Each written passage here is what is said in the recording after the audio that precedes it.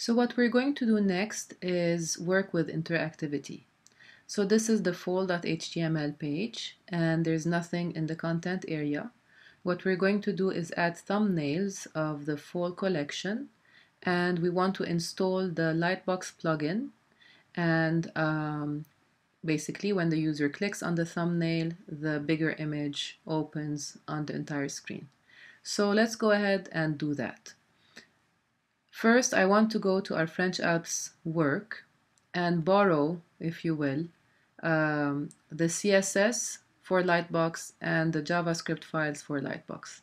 So let me just, in order not to make a mistake and forget a file behind, I'm going to uh, click on the CSS folder and then hold down the Command key to also select the JS folder, not the Shift key, otherwise it selects everything in between. So I held down the command key and I'm copying those, command C, and I'll go back to Penny Black and I will paste them here, command V. Now, let me just change their color just so that we see them because we're working with these two folders uh, right now. So, control click and choose like a different color just to highlight them. Let me choose something else like blue okay? So let me go inside of my CSS I have two files the lightbox.css which I need and the style.css which I don't need because this is the style for the French Alps website. So I'm going to click on it and delete it. Then I want to open the JS folder and I have the cycle plugin which I don't need. It belongs to the French Alps website and I do have the Lightbox plus jQuery file, which basically, if you remember, is made up of the Lightbox plugin and the jQuery library.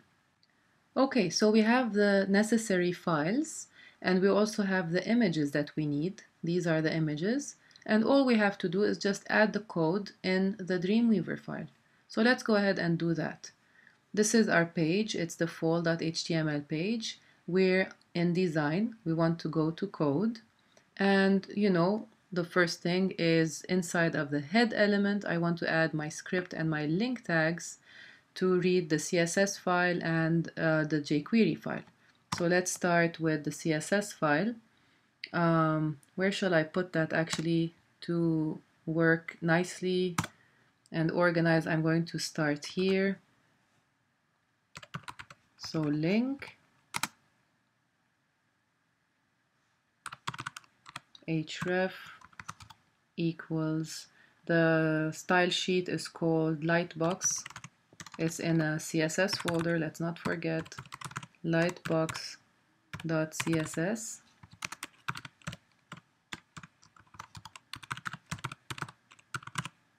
okay so we're linking with the href attribute to the file called lightbox.css which resides in the css folder. And then the script.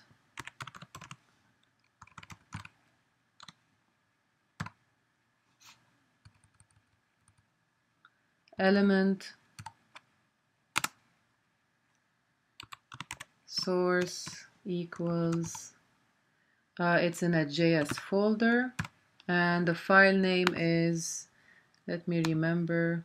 Actually I'm going to copy it because I don't want to make a mistake. Lightbox hyphen plus hyphen jquery.min.js. So I might make a mistake. I'm just going to copy this name and go to Dreamweaver and paste it there.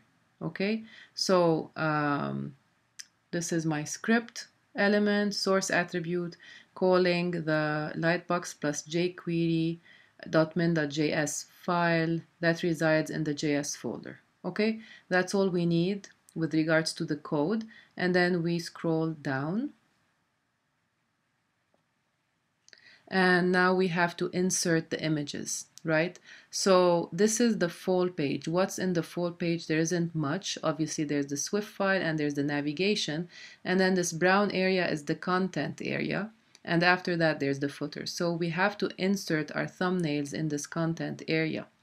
Let's go ahead and do that. Um, where you see the UL and the LI obviously this is the navigation. So what we need is after that, it's inside of div class content. So I'm going to hit enter and then open the image element. You see, so now that we know how to write the code, we can write it ourselves. We don't need to uh, wait for Dreamweaver to do things for us. So image source equals images and what's the first image called? It's called fall1 small.jpg and then the big image that opens from that is fall1 big. Okay, so fall1 small.jpg fall1 small.jpg is the image. It's my thumbnail. And so this thumbnail now should show on the fall.html page. Okay, now I want it to uh, load the bigger image. That's why I'm going to place it in an A element. And the A obviously has an href. And it's going to load the bigger image that is called fall1 big dot jpeg Let me double check fall1 big dot jpeg Okay. Um, so to activate the Lightbox plugin, we need the data Lightbox attribute. And in order to create a link uh, among all the images, we need the same value such as image 1 or uh, Maxmara or Fall or uh, Fur Coat or whatever, something. Okay, just have the same value repeated across um, the remaining images. Okay, and then for the title, use the title attribute, um, something like nice dress or whatever, obviously the, the appropriate term, but right now I'm just testing. Okay, so uh, the A element is nesting the image element. The image element is calling the thumbnail. The A element is supposed to load the bigger image.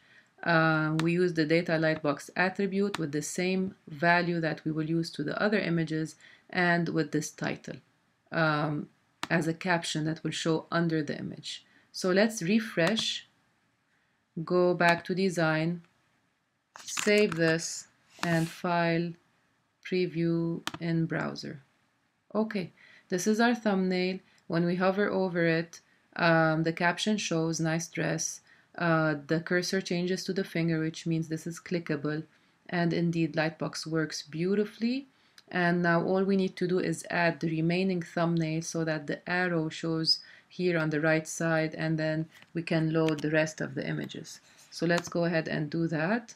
Go back to code and I would just you know take this line and paste it five times because we have six thumbnails in total one two three four five six and change just change the name so fall one big this is fall two big fall three big fall four big fall five and fall six and same thing here two three four, five, and six. Okay, so let's see what happened. Let's go back to design, file, save, file, preview. Okay, wonderful. So we have our thumbnails and let's click on one and then move to the next one. Obviously, I would go ahead and change these uh, captions, right? Uh, for example, uh, you know, uh, cashmere coat, fur, whatever, you know, uh, by all means change those captions. It's easy to do. Um, you just go to your code and then you change what it says here. Instead of nice dress, you put the appropriate caption. Now, one thing I don't like in this is um, the margins between the images, right? The images are um, very close to one another let's add some space. So let's go to um, under style in the in the CSS styles panel under style let's look for the image. It's right here. A space image right? Which means the image that is nested in the a element. Let's give it some margin right so that every image um, has some margin on its right side. So I'm going to go ahead and give it some margin, right? Something like 20 or 21 pixels. Hit enter and then save and let's refresh. Okay, beautiful. So here is everything working fine. And all we need to do now is just duplicate the fall.html and um, change it to spring.html and then um, re replace these images. So let's go ahead and do that. Um, this is fall.html, copy and paste it and call it spring.html. Open it in Dreamweaver. And let's just replace those images. Okay, so let's go to the code section. And then at the bottom let's see what they should be called. Um, spring one big and spring one small. That's that's how I've named them. So just uh, change the, the word fall to spring. Okay?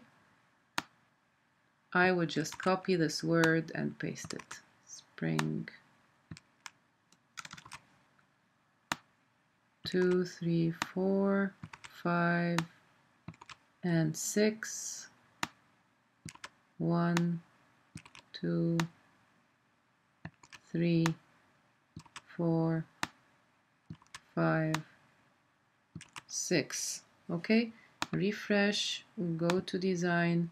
Um, we should also replace the SWF because we don't want that winter looking SWF here. There's a um, there's a nice SWF for the spring section.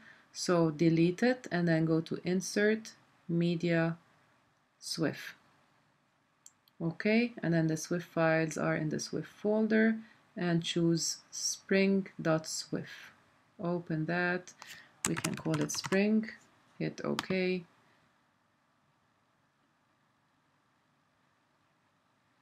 And that's it. File, save, and preview Okay, wonderful. So this is the spring page. Let's refresh.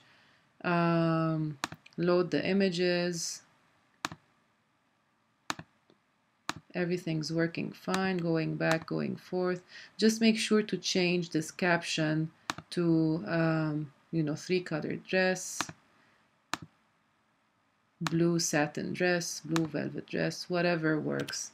Okay, so it's looking pretty nice. We have the home page, the about page. Under collections, we have fall and spring. Fall is loading the fall collection. Um, and then spring is loading the spring collection. And now we have to work on the contact page uh, because we don't want this table here. We want to create a real form uh, the way we learned with the French Alps website so that we get comments from users.